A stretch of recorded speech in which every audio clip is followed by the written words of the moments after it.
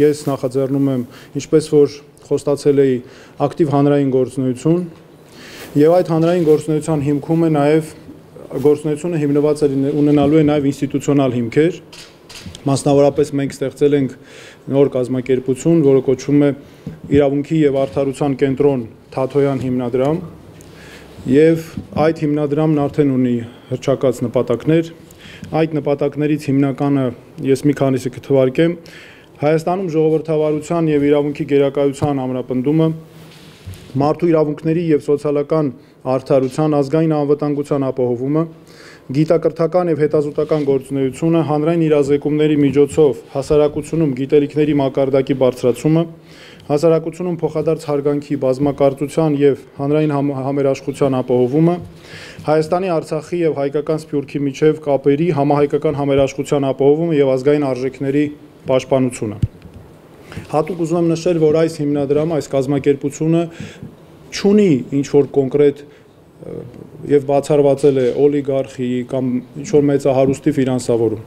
Սա այս կազմակերպությունը հիմնված է Սփյուռքի մեր հայրենակիցների անհատների ֆինանսավորման հիման վրա վրա է հիմնված։ Մենք խոսքը վերաբերում է մեր հայրենակիցներին Ամերիկայի Միացյալ Նահանգներից, Ռուսաստանի Դաշնությունից, Եվրոպայից։ Ուզում եմ հատուկ նշել, որ մենք արդեն կազմել ենք զեկույց, որը վերաբերում է ադրբեջանական ատելությանը եւ թշնամանքին շարունակվող եւ այս պատերազմի ընթացքում հանգեցրած հետևանքներին։ Այս զեկույցում հատուկ շեշտադրվում է, որ Ադրբեջանի իշխանությունները շարունակում են ատելությունը, թշնամանքը։ Այս զեկույցի կազմման աշխատանքները մենք մի փոքր ավելի վաղ էինք սկսել, քան այս պատերազմը որ սկսվեց, բայց այս ագրեսիան որ սկսվեց, բայց միևնույն է մենք դրանում ներառեցինք նաև հետևանքների հետ կապված բոլոր խնդիրները, ինչ որ առաջացրեց։ Եվ այդ ժամանակ էր նաև ցույց էինք տալիս հստակ, ինչը արտահայտված է այս զեկույցում, որ ադրբեջանական իշխանությունների թշնամանքի ատելության քաղաքականությունը երկու հիմնական հիմքեր ինչպես որ կար, այդպես էլ կա, գնում է կրոնական ու էթնիկ հիմքերով։ Եվ դա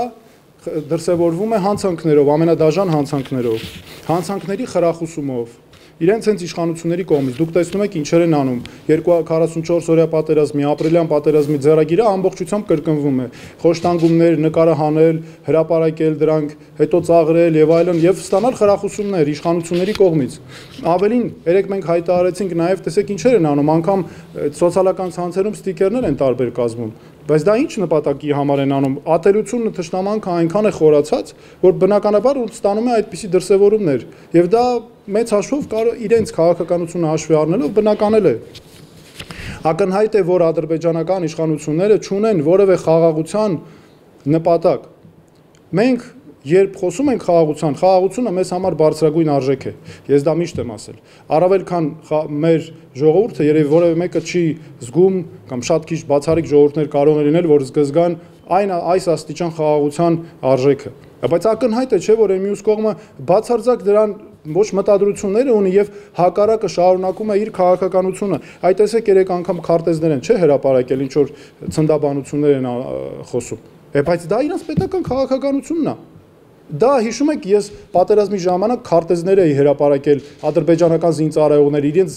գրպանի գրքերի։ Դրանք այդ նույն քարտեզներն են, որից հիմա նայում եմ, ամբողջությամբ նույնն է, այսինքն սա նրանց հիմնարար պետական քաղաքականությունն է։ Եվ ինչի է պետք նրանց խաղաղասեր լինելը որ նրանք աշխարհի համար շղարշ ապահովեն Երևան շատ բարի խաղաղասեր, իսկ մենք երբ ինչ ենք անում, երբ չենք արձանագրում խախտումները, պետական մակարդակով այդ քաղաքականությունը չի վարվում, այսինքն ցույց տալու համար թշնամանքի ու այդ ցեղասպան քաղաքականության հիմքերը, նրանք པարզը շատ ավելի մեծ այսպես բարենպաստ դիրքերում են հայտնվում։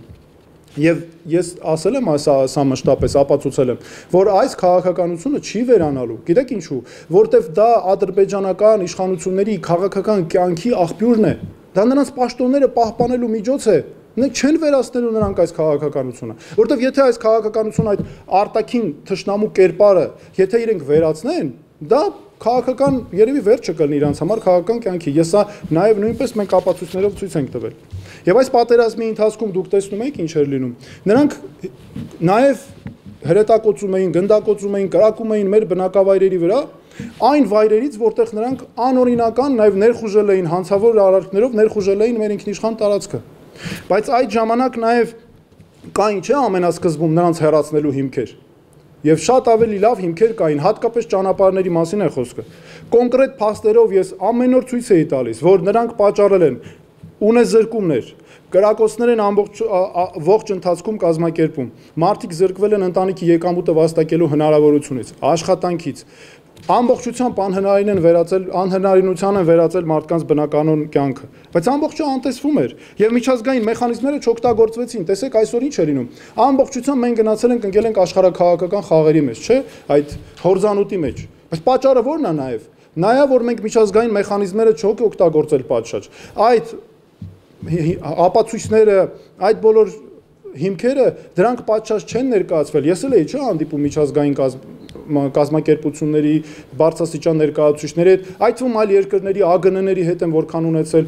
ԱԳՆ-ներից միջև Մինսկի խմբի համանախագահ ունեցել եմ հանդիպումներ։ Ակնհայտ էր եղել, որ այդ ժամանակ կար այդ մեծ խնդիրը, չէր օգտագործվում։ Ադրբեջանական զինծառայողները երբ մեր ճանապարհներին հայտնվեցին, մի անգամից ազատ տեղաշարժի սահմանափակումներ էր, չէ՞, այդքան խոսում էինք դրա մասին, դեռ չէին արկելափակել։